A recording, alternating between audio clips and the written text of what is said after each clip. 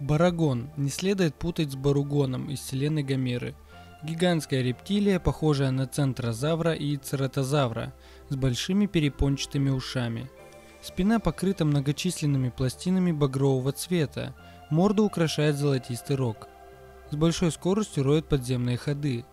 Был создан как замена Годзиллы для битвы с Франкенштейном и после этого появлялся еще в двух фильмах как союзник и враг Годзиллы.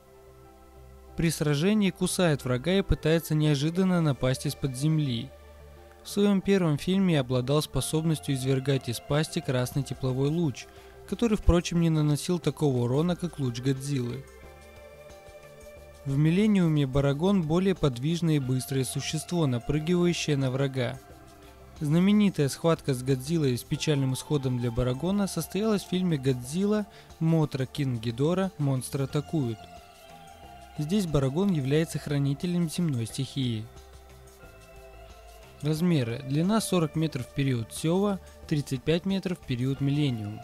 Рост 25 метров в период Сева, 30 метров в период Миллениум. Вес 250 тонн период Сева, 10 тысяч тонн период Миллениум. В обоих появлениях Барагона в эпохе Сева его рев был слегка измененной версией рева Варана – Единственное отличие состоит в том, что в версию Барагона было добавлено немного больше рычания. Некоторые части рева исходят от голоса Годзиллы. В эпохе Миллениум рев э, Барагона полностью изменился. Это уже был не модифицированный рев Варана, а оригинальный новый звук – он состоял из э, рычания леопарда, шипения крокодила, некоторых звуков слона, а также рев тиранозавра Рекса.